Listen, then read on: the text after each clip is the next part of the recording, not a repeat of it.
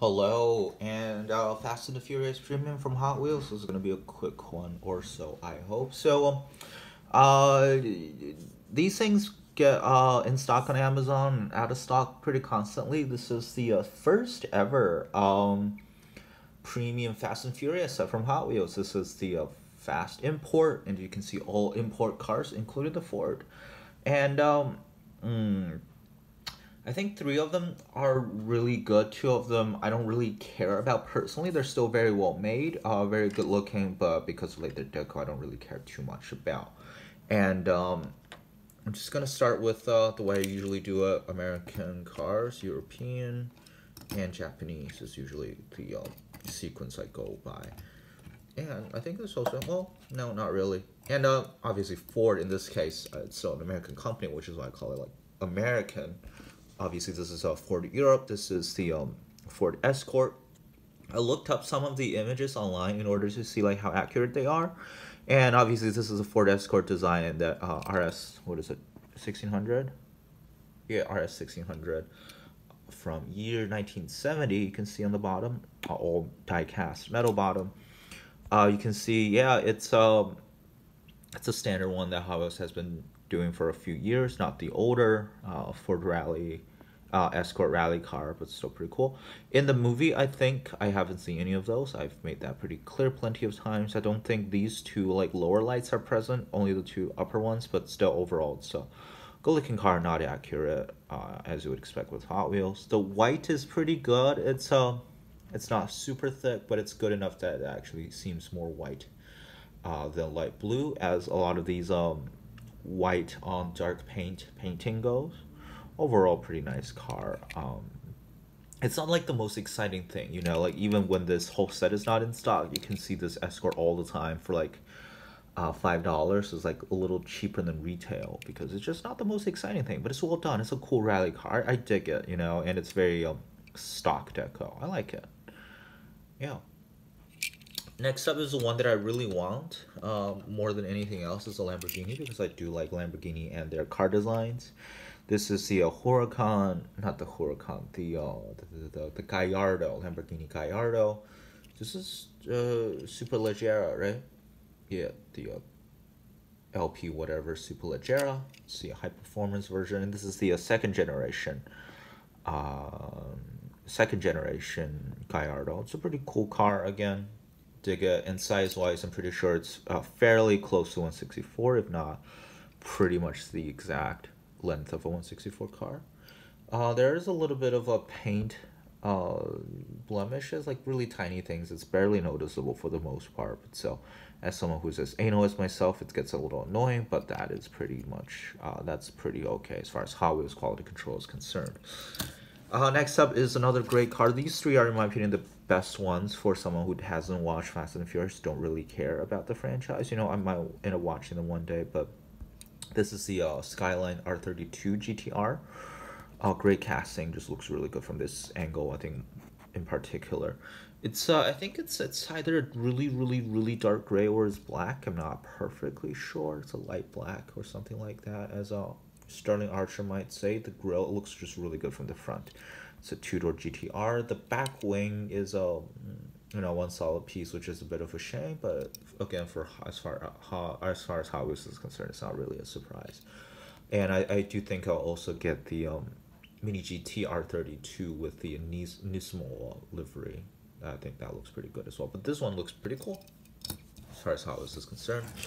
This one, I uh, don't really care about the um, Fast and the Furious deco, although it's pretty cool. Especially you can see all of the uh, sponsors here: Toyo Tires, K&N, uh, Sparco, and all that. You can see K&N here again, and on the other side, no, this is something else. It's just, um, yeah, no, it's just K&N all over again. Uh, I, I don't really care for this deco, but I, I like after getting it, I think I like it a lot more than I did, and it's very well done, very heavy. Um, die-cast metal wing, which is pretty good actually. I, I thought I might uh, prefer the plastic wing because you know just uh, especially since a, wing is a different color as well, it doesn't really matter. Uh, cause like for me the biggest problem between like using plastic parts, uh, ex plastic exterior parts is like color consistency, which is pretty often not met, but in this case, you know, it's supposed to be a different color anyway. But you know, the, the metal one is pretty good. I think the uh, closest competitor this one would have would be the uh, Dream Tomica one. I think this one, they're comparable, and I think this one might be better. Um, proportion wise go and um, uh, just uh, lens headlight details. Tomica would have that advantage, but uh, in that case, the uh, wheels are pretty uh, very very basic as far as Tomica is concerned, and this one actually has like really nice, not accurate wheels, but good looking wheels in general, and obviously rubber tires and a metal base. I think, I think this one wins out. And although the Tomica one has plastic wing and shows the color differentiation really well, you know the whole thing is blue instead of just the top and sides being painted. The problem with that being uh, apparently like if you take it out of the box, there's a good chance it's gonna be a bit warped like the uh, Hot Wheels uh, Mazda 787B, which is a bit of a shame. At the end of the day, I still think um, the uh, the Denismo one is better from the uh, Team Transport, uh, but I, I'm definitely uh, warming up to this one, even though it's uh, from a movie I don't really, I haven't seen and don't care about. Um, I mean, it, it's not like too outlandish anyway, so it's pretty cool. It's pretty cool. Uh, and I am considering getting a RLC one, the purple one. It's not going to be cheap, but I really like the look of that one as well. So I might end up getting it. I might not. Other than that, the only like uh, premium ones, not counting the RLC or the um, convention pieces, are obviously the original blue one, right? Uh, dark blue one that also um, that's from entertainment, but from the Fast and Furious line. Uh, that one I think might be one of the best looking uh, R34 premiums out of the three. I will probably put that one first, and then the Nismo and then this. But all three of them look really good. I, I do like the Hot Wheel R34 cast, GTR casting, even though it's pretty, it's not accurate. You know, it's uh, the proportions are not accurate. Uh, they they you know tune it up a little bit to make it look more muscle car ish. Just the visuals aesthetics go, but I like it. It's pretty cool. Last and, in my opinion, least is the. Uh, Nissan Silvia R30, no, no, no, Nissan Silvia S15. It's a pretty cool car. I like the blue, and I think this is from the third movie, uh, Tokyo Drift. Is that the third one? I don't know. Um, oh, it's uh, yeah, like the blue is really nice. I don't care for like the red stripes. I think this is in the movie called like, the Mona Lisa because you know if you look at a Nissan Silvia, uh, the first thing you will think about is uh, Leonardo da Vinci's uh, Renaissance masterpiece. I'm not the biggest fan of Renaissance art, by the way. So, I mean, I get why it's like historically and it's important in history and art history. I just think like out of all eras, that's the one that has the least styles, the one that gets boring the quickest. Um, I genuinely think like medieval art is more interesting than that. It's like, you know, but but but still, I mean, you can't really compare a car to Da Vinci, anyway. I do like the plastic spoiler here. Uh, my Hot Wheels again, it's like color differentiation makes it really easy. Plastic piece. I think I, I at the end of the day, I prefer the one from um again from another uh, Fast and Furious set. This is from the Fast Tuners. I showed this before. Really good car, uh, good looking car, and uh, very very stock looking gunmetal gray with a black hood. A lot of them just being really glossy means uh, you, you can get dust on them pretty pretty easily yeah, I think this one probably better. And there's also the uh, uh, car culture one with the uh, white. I think this one definitely uh, better. The white one and this one are all more. It's just nicer looking than this one, which is again just because like going for movie accuracy and unfortunately the movie style is not something I'm super interested in.